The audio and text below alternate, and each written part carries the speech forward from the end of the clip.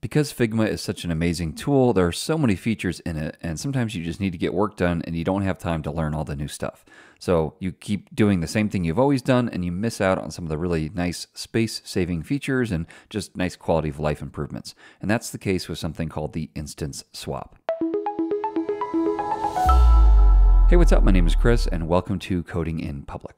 I'm going to talk through this kind of start to finish. If you're interested more in how to use components as a whole and all these different properties and variants and all that kind of stuff, I've done a video explaining how to use the traditional variants, how to use Boolean, instance swap, and the uh, the content one as well. Text, I think is what it's called. So you can check that out on my channel, and I'll leave a link in the description as well. We're going to take our time walking through this, but let me first of all just give you a very basic introduction as to why you might want to use the instance swap. So we're going to do a couple things here. First of all, I'm going to go ahead and click up here and I've got a plugin here for icons. It doesn't really matter what we're using here, but I'm just going to grab a bunch of these and set them out randomly in no particular order. Okay, so we've got a bunch of these. Let's go ahead and grab all of these. And in order to make these things instance swappable, each thing that you're making instance swappable, first of all, needs to be its own component. So with all those selected, I'm now going to come up here and do create multiple components. So they're not the same components, they're not variants of the same components, they're each their own component. The next thing I'm going to do is organize these because that will help us when we go to pick which ones we want to be the default instance swap properties. And then I'll show you again why you might want to do this. So I'm going to hit F and just click inside here and make it an auto layout. We'll call this like icons 1 or something like that. And then let's duplicate this and we'll call this icons 2. All right, then I'm to grab these and let's just drop these inside here and I'll grab these and drop these over here. Okay, so I've got two sets of icons and again, they're all their own components and then they're each organized in these frames. Okay, so with that said, let's go ahead and now create uh, two components we're to use throughout this whole tutorial. So I'll hit F again, click, and let's call this something like badge uh, icon. And I do want to make this a component just like this, and it needs to be an auto layout. So Shift and A, we'll do that. And then I'll hit F over here. We'll do the same thing. I'll call this button and Shift A once again to make it an auto layout, and then plus. All right, right there to make it a component. Now inside this one, we're to have some text. So I'll hit T and then start typing. Let's do something like button text. And then I do want to drag in an icon uh, over here and then also here. So let's talk about why you might want to use the instance swap property. It basically cuts down on how many of these component variants you need to create. So traditionally you would create one for each different icon set so that you could switch them in the sidebar in your actual designs. You don't have to do that anymore with the instance swap property. So let's say I came over here and I drag this in, holding down the option key, just grabs an instance, and that's what I want. And now I've got this dropped right inside here. Let's say I do the same thing over here for this button text. I drag it in over here, change this auto layout to this way, put that in the middle. Let's also put this in the middle here. All right, great. So I've got now icons being used in both of these, but let's say I want to use one of these as well. Well, normally what you'd have to do is come in here at plus, and then you'd have to switch this one out, and now you've got two different variants. If I can hold down the option and drag it in there, you've got two different variants of this. But now if I want to continue to do this, now I'm going to have seven total. Now, to make matters worse, let's say I come in here and I say, hey, I want this to be a dark version. So now I've got a dark version, and if I want one for all of these icons. Now I've got 14 in this badge icon component set. So you can see how this starts to multiply your components pretty significantly.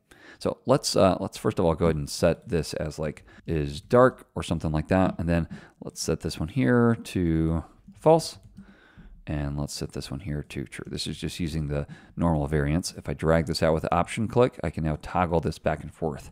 And if, again, if you're not familiar with that, check out that other video. All right, over here, we're just going to have the single variant. That's just fine. But now with this stuff set up, let's actually set up an instance swap. So the first thing, you can do it kind of either from the parent, or I usually like to do it from the actual component I'm working on. So let me grab this right here, and just to make sure they're the same for now, if I drag this out over this way and drag this in here, now, since these are both the exact same icon, I can select this right here to select all the matching layers. So usually you want to use the same icon as kind of your base, and then you can build out from that to grab your different instance swap properties. So I'll click this and it selects both of these. Now, if I come over here, you're going to see this icon right here. Now, there are other ones like under layer. Uh, don't click this. That's a Boolean property. It's this one right here that has the, the icon actually selected. So I'm going to click this, create instance swap property.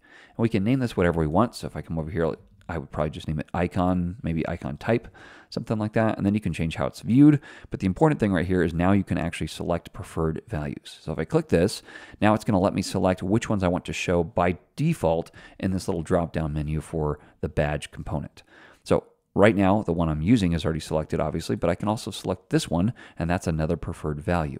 Now, the advantage of organizing them on frames like this is if you want to group icons, you can see I'm actually inside my icons 2 folder essentially, and how I can select the ones inside of that. Now, for some reason, this badge icon is weirdly situated. I must have made that its own frame, but I could also come back out here and maybe select one from there and one from there. So they don't have to be organized on folders. It just makes it a little bit easier. So with that said, let's say I get rid of those two, come over here and click Create Property. Now, the advantage here is I can just drag this out with an option and then uh, drag it out. And now I've got my is dark back and forth, but I've also got this icon type instance swap property. And here are my preferred values right here. So I can just very quickly switch between these and how I've reduced my number of icons from 14 to down to 2, which we'll do here in a second with this dark one. So you can see just back and forth just like this. Now, of course, I can also come up to any component and jump up here and switch it out for the entire button. I'm not sure why I'd want to do that, but you can see how the preferred values don't lock you into those components. They just make it to where it's easy to switch between those. Okay, so with that being said, that's how to just do a basic instance swap and why you might want to do it. Now let's talk about a few different other variations. Uh, for instance, let's say I want a dark mode version.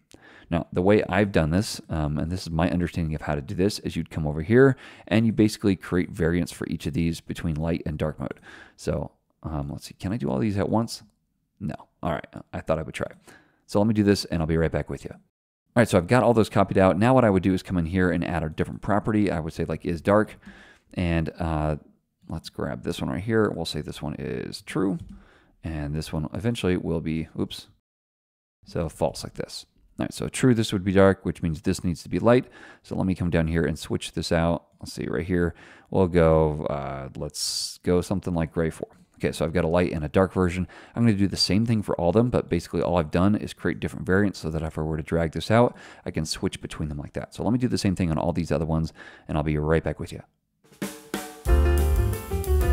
All right, so I've done that for all the icons. Now I've got varieties of each of those light and dark varieties. Now, what I can do over here is I can just now select these from directly within this. So for instance, now I can just switch this to is light or is dark. Notice that this actually changes on both of these. So actually you want to leave it alone here so if I drag this out with an option click over here, I can go dark or light for the entire thing, and then I can switch out the icons like I've already showed you. However, what I can do now is I can also click inside here. So if I come in here and click inside here, now here's where I can access the is light or is dark and just toggle back and forth between those two. So now I've got a, a light mode right here and a dark mode over there. So you actually change this in the kind of the starting component, and then you can use that all throughout your designs. Now the same thing is true over here. Uh, just a kind of a note of how these things work differently, and then I'll give you a bonus for the text property. So I'm going to grab the same thing here and right over here where it says badge icon, click this and I can add different varieties, things that I may want it to also auto select. So I'll add all those as kind of starting points.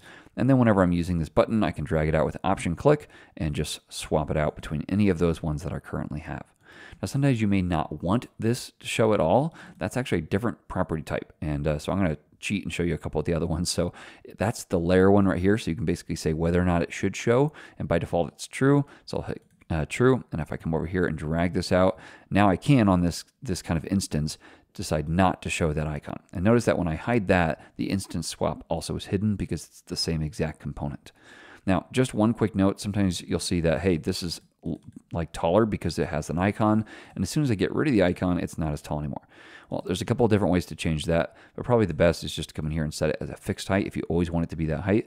And that way it doesn't matter whether or not the icon is shown, it always shows the same way.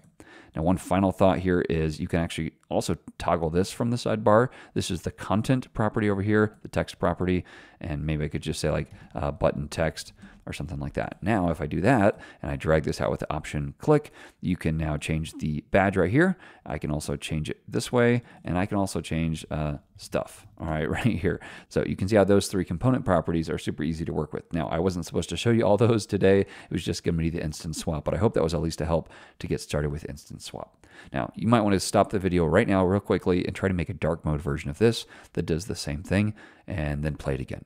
Okay, well, hopefully you had a good go of that. This is just one quick practice here. Let's go ahead and actually click plus here to create a new variant. And uh, let's grab all this right here. We'll say like uh, is dark. And right here, this one will be true or false. And then this one here will be true. All right, and we need to change the background here to something. Let's go something like that, I think. Okay, and then both of these here, we can actually switch up what color they're supposed to show as well on this.